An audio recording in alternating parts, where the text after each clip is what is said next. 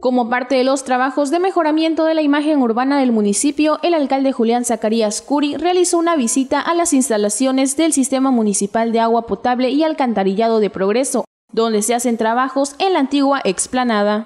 En esa zona se realizan trabajos de renovación y mejoramiento de vialidades, los parques de lectura y de juegos infantiles, para aprovechar el espacio donde estuvo un antiguo tanque elevado. Zacarías Curi visitó la calle 78A y durante el recorrido saludó al personal del ESMAPAP y a vecinos que acudieron a realizar sus pagos por consumo de agua potable. El director del ESMAPAP, Rafael Luna Gutiérrez, explicó que la paramunicipal ya cuenta con una aplicación móvil para consultar el recibo de agua a través del número de cuenta, de igual forma para reportar fugas o para enterarse de promociones, rifas, ganadores, avisos en cortes de suministro por trabajos, entre otros.